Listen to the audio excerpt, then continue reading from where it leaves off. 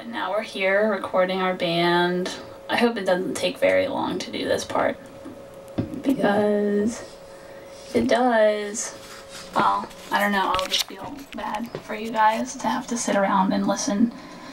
But so far so good, right? I don't I don't know. Hmm. And my favorite color is blue. My lucky number is 17. And I, not a lot of people know this, but I was originally born in Annapolis, Maryland. But I moved to Richmond when I was very young. So consider Richmond my hometown more so than. I mean, Annapolis, like which myself. I don't think I've been to Annapolis in It's for you. mm, like 16 years or something. I don't know. Is Annapolis a cool city? I kind I like Now's Baltimore, time where you alright, but I just don't think ask her questions. Maryland as a whole has a whole lot to offer. So, um, well, there's the aquarium here. That's nice. And Cal Ripken, he's cool.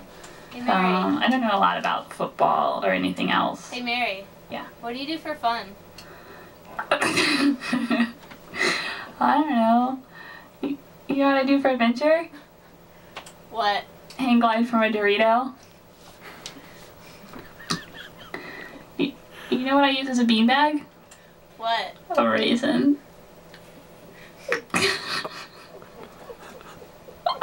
you know what I use as a hat? I don't know what. A lentil. I have a new text message from Cornell. Oh, Oh, because I didn't respond fast enough. He thinks I'm trying to dodge it. sounds just like Let's see. Marcel. Mm-hmm.